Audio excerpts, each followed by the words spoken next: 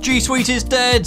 Long live Workspace! You know, my job would be so much easier if people just stopped changing things.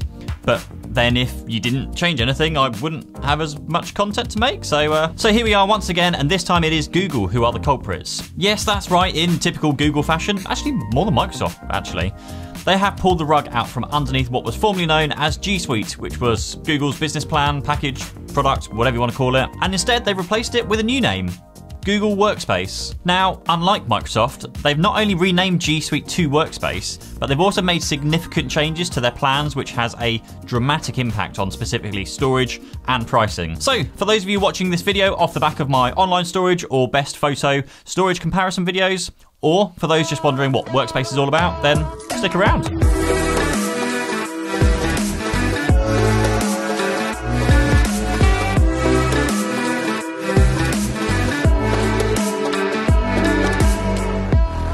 Welcome back to yet another video, and I guess this is actually going to be a What the Tech video, because seriously, Google, what the tech? A few days ago in October 2020, Google rebranded the product suite known as G Suite and launched the new service called Google Workspace. To keep this video short and to the point, I'm gonna just cover off what these changes mean, and you can jump straight to each of those sections following the timestamps below this video. And just before we get started, if you are new to watching my videos, please do consider subscribing by clicking the button down below as it really does help me out as someone who's kind of considering doing this as a full-time career slash hobby slash thing.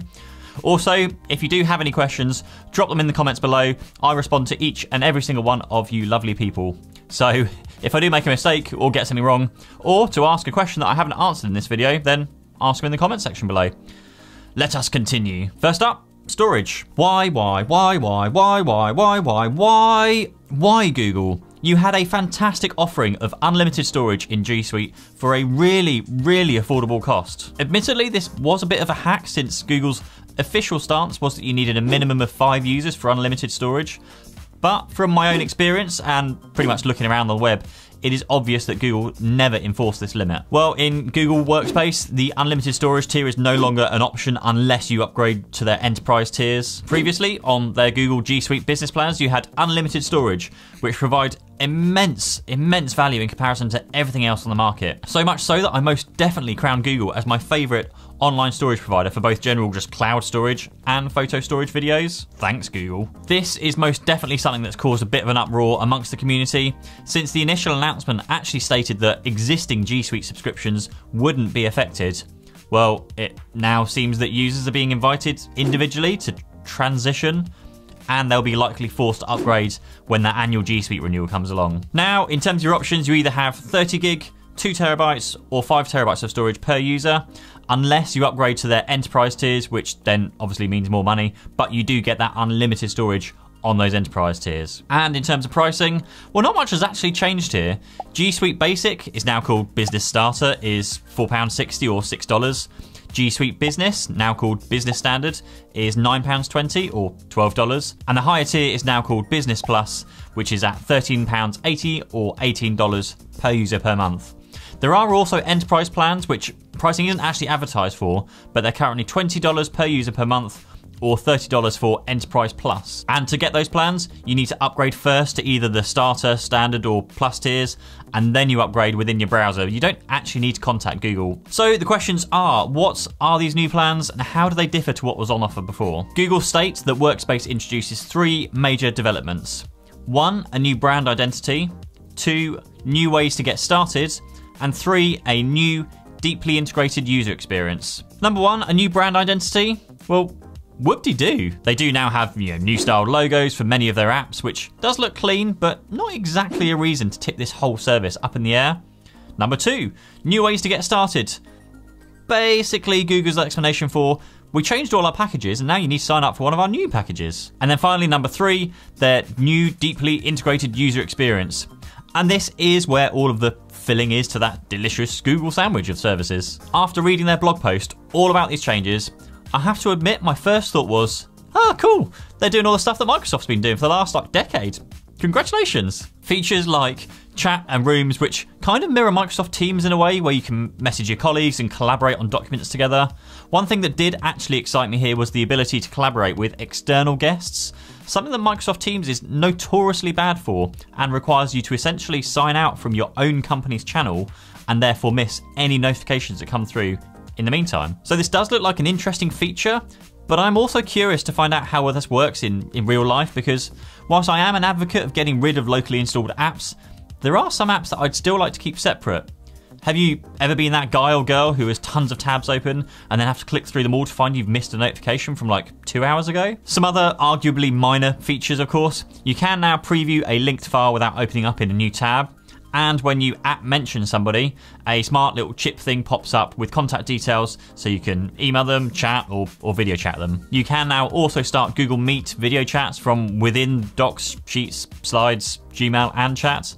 So you don't actually have to leave what you're doing to go and start a video chat, and it means you can collaborate on those documents. And all of these, of course, are nice feature additions, but I'm still not seeing anything groundbreaking that really makes sense for the whole rebrand. Once again, I do feel this is just actually the standard practice of Google for just changing their minds constantly on their products, which doesn't really make it easy as a consumer. And with that said, and according to their own blog post, these new features are available to all paying customers of Google Workspace.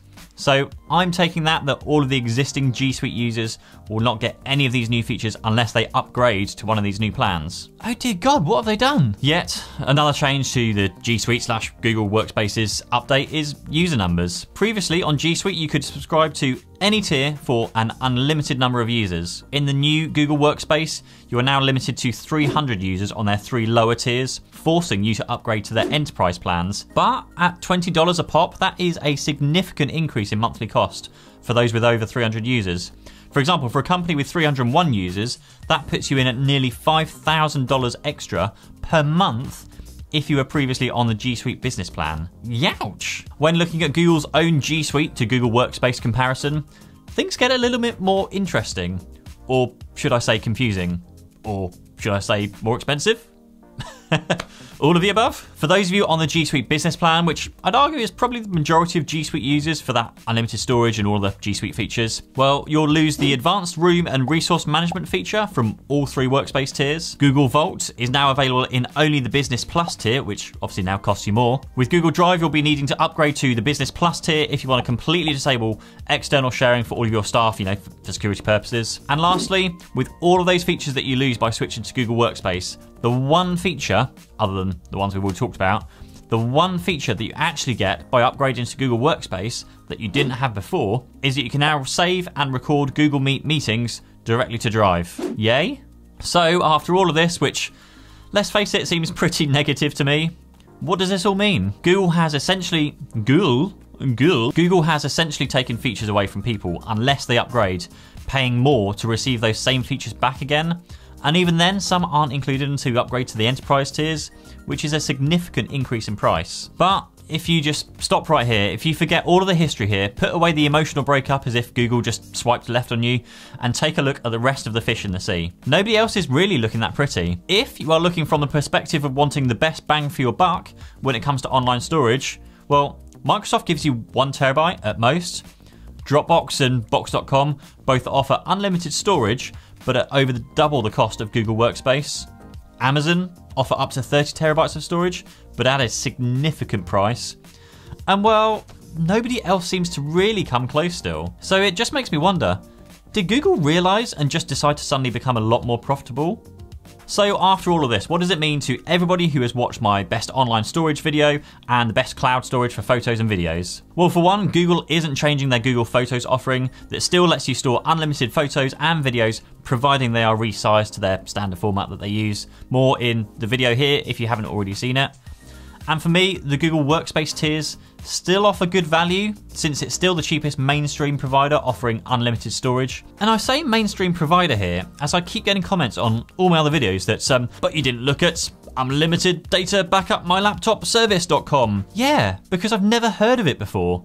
And I wouldn't trust my data to a service I've never heard of before. Anyway, I digress. What was I talking about? For pure storage, then I'd still go with Google perhaps rather than just jumping straight in at the deep end with the unlimited storage, look at how much data you actually have and then start with the tier that matches those needs. Then, as your data grows, then you can just upgrade. Something just worth mentioning here because I'll get shot down by all the Google people that watch these videos the amount of storage space you get in your Google Drive. If you are using things like Google Sheets, Google Docs, and any Google format files, they do not consume space in your Google Drive. I can't imagine Microsoft doing that with their OneDrive, can you? Word documents, Excel documents, PowerPoint presentations, Outlook data, all that kind of stuff. Nah, it's fine. For those wanting the best all-around solution for their business in terms of, you know, applications and features and all that kind of stuff, it's difficult, nigh on impossible to call that between Office 365 and Google. Both have their strengths, both have their weaknesses, and both can really make it or break it for your business if you don't have a good enough IT support provider that looks after you a video which will be coming soon. And once I've done that, I'll be linking it in the description below and up there in the cards too. If you do have any comments or questions, drop them in the comments below this video. I do respond to each and every single person who asks me a question. If I've not covered something, tell me I'm wrong. If I'm wrong, but just be nice about it, please. Okay, thank you. Thanks for watching. Don't forget, of course, to like the video if you did, subscribe if you're not already, hit the bell icon to be notified when future videos are posted, and I'll see you in the comments. Thank you. Bye bye.